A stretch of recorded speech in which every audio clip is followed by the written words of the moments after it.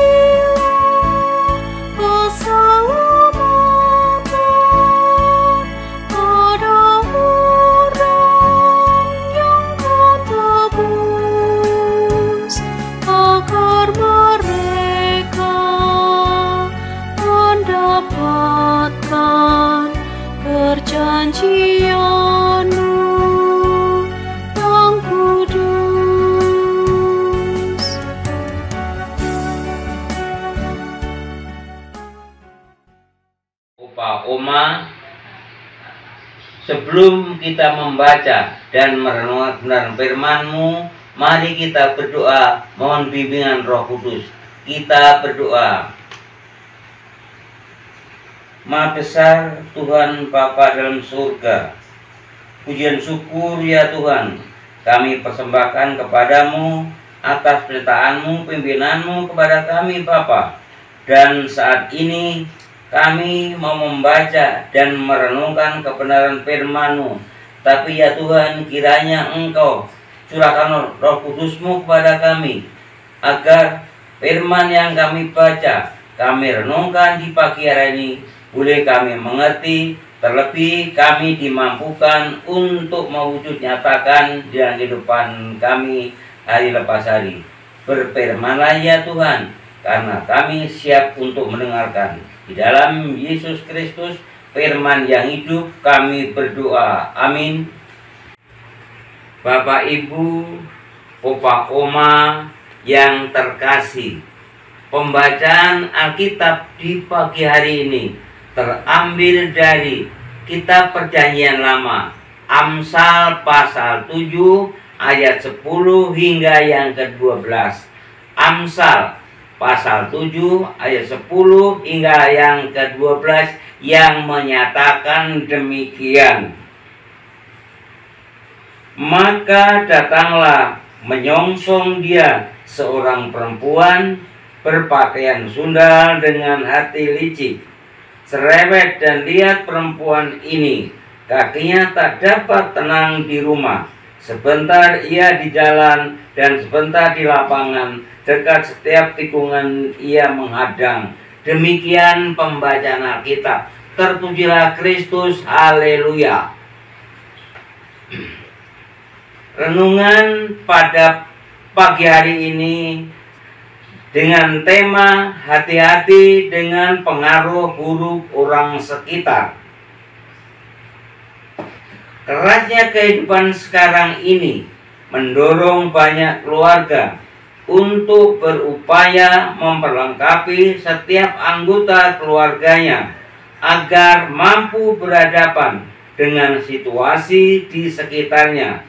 Pengaruh lingkungan yang cukup besar dapat mengubah cara pandang dan perilaku kita sehingga kita menjadi orang yang lemah, berpikir picik, egois dan bisa menjadi brutal.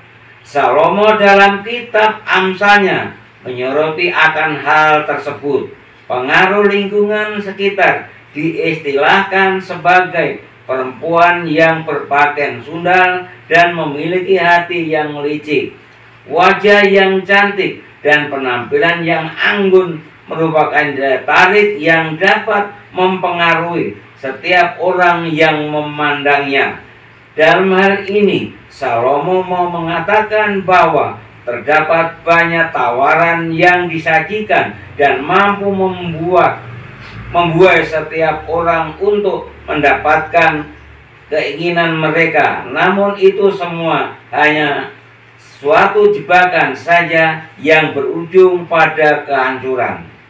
Di sekitar kita tidak sedikit tawaran yang menyenangkan bahkan menjadikan kepuasan. Namun sesungguhnya tawaran tersebut justru berujung pada kehancuran kita. Salomo tampil sebagai sosok guru yang dengan hikmahnya membimbing dan menasihati agar anak-anaknya mampu melihat dunia sekitar dengan bijaksana dan tidak mudah terpengaruh dengan berbagai ajakan yang akhirnya dapat merusak masa depan mereka. Menyoroti pengajaran melalui kitab Amsal ini, kita pun diingatkan untuk membangun sikap yang bijak dalam menghadapi dunia modern dengan berbagai pengaruh yang bisa saja merusak masa depan kita. Dalam menghadapi kerasnya tantangan hidup saat ini, kita membutuhkan pertolongan dan hikmat Tuhan. Sebab tanpa melibatkan Tuhan, maka itu kita tidak akan berarti dan berbagai permasalahan yang dihadapi sulit untuk teratasi. Marilah Serahkanlah hidupmu kepada Tuhan dan percayalah kepadanya, maka ia akan bertindak. Sebab di luar aku kamu tidak dapat berbuat apa-apa. Mazmur 37 ayat 5 dan Yohanes 15 ayat 5b demikian perenungan pada pagi hari terpujilah Kristus. Amin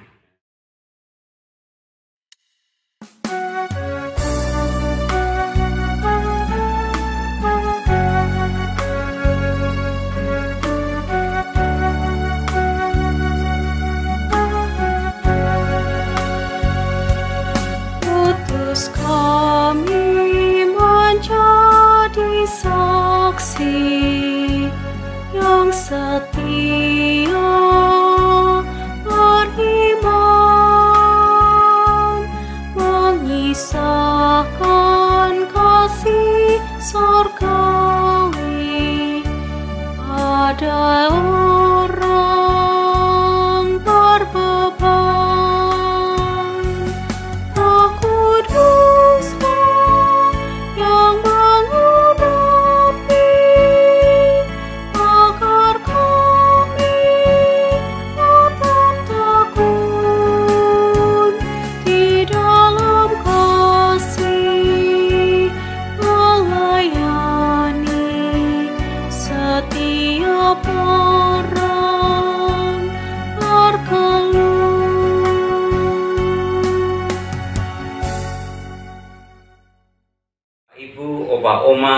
mari kita berdoa. Kembali ya Tuhan, kami datang kepadamu seraya menaikkan syukur kepadamu Bapa karena Engkau telah hadir di tengah-tengah kami melalui Roh Kudusmu dalam pembacaan dan perenungan kebenaran firman-Mu. Biarlah firman yang telah kami baca, kami renungkan ini, boleh kami mengerti dan kami berlakukan dalam kehidupan kami hari lepas hari. Dan ajalah pula Bapa agar kami boleh dengar-dengar firman-Mu melalui tutur kata dan tindakan kami di mana pun kami berada. Bapa kami yang ada dalam surga, kami berdoa untuk gereja-gerejamu Bapa, khususnya GBIB yang tersebar di wilayah Indonesia Bapa. Biar Tuhan Engkau senantiasa memberkati setiap pelayanan yang dilakukan Bapa, sehingga namamu boleh dipuji dan besarkan.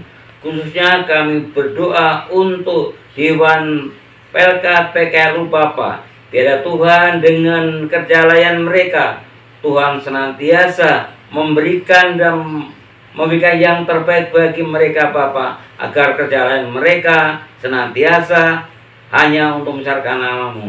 Terima kasih ya Tuhan juga akan berdoa untuk para hambamu ya Bapak yang telah kutugaskan di mana pun mereka berada. Kiranya Tuhan kau senantiasa memberkati mereka agar mereka dengan penuh sukacita dan hikmat yang daripadamu boleh menyertai dalam kehidupan mereka. Berkati rumah tangga mereka, berkati kehidupan mereka. Terima kasih ya Tuhan kami berdoa untuk kami Bapak yang ikut serta di dalam acara ini Bapak. Kiranya Engkau berkati kami dan sebentar kami akan bisa satu dengan lain Tuhan. Kau senantiasa menyertai kehidupan kami. Ampunikan satu saat kami Bapak di dalam dan oleh Yesus Kristus kami berdoa dan bersyukur kepada surga. Amin. Bapak Ibu, Opa Oma yang terkasih, terima kasih atas keikutsertaan kita di dalam acara ini. Biarlah setiap kita disertai di dalam rangka kita di mana pun kita berada dan Tuhan memberkati kehidupan kita di mana pun pula berada. Tuhan berkati kita sekalian.